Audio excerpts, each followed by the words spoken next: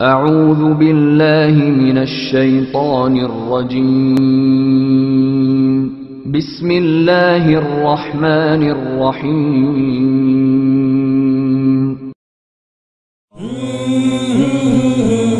السلام علیکم ورحمۃ اللہ وبرکاتہ مرکزی جمعیت اہل حدیث پاکستان کے زیر اہتمام.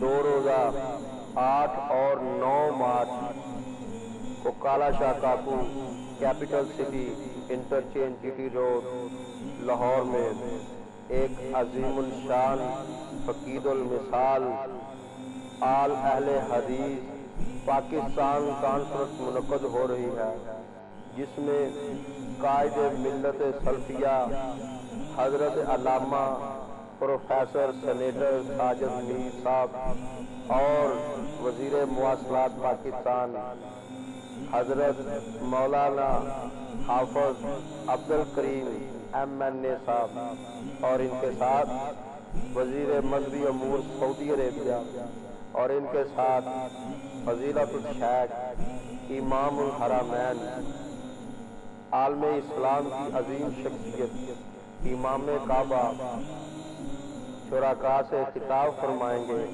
تمام اہل اسلام کو کانفرنس میں جوگ در جوگ شرکت کی اپیل کی جاتی ہے۔